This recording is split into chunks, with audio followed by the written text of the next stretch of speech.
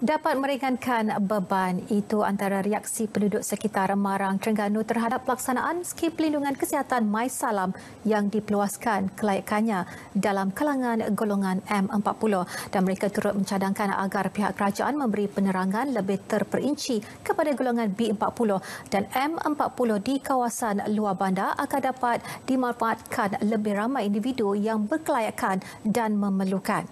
Aktiviti turun padang di sekitar kampung dan pasar antara yang diharapkan oleh penduduk setempat. So saya nak cubalah uh, register untuk ayah saya. Uh, kalau ada rezeki insya-Allah lah dapat untuk bantu amal salam. Ayah kenapa?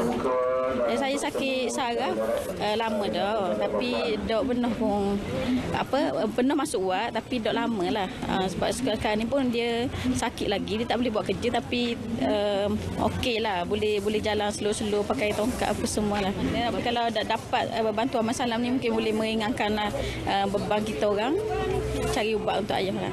Dan dia sepatutnya kena masuk uh, kawasan kampung-kampung lah. Mungkin orang kampung tak tahu. Uh, macam uh, orang-orang muda macam dia belajar lebih sikit. Sama pula dia celik IT apa semua ke memang dia faham. Macam orang kampung-kampung dok kerja apa semua tu memang dia tak tahu. Dan, dan uh, sepatutnya kena masuk kampung-kampung lah. Tak, uh, buat satu satu program ke dekat balai raya ke dekat masjid ke. Skim Masalah merupakan perlindungan kesihatan takaful percuma di bawah Belanjawan 2020 dipeluas kepada perlindungan ke atas 45 penyakit kritikal berbanding 36 penyakit sebelum ini. Penerima bantuan sara hidup BSH layak memohon dan golongan M40 boleh mendaftar sehingga 31 Mac ini.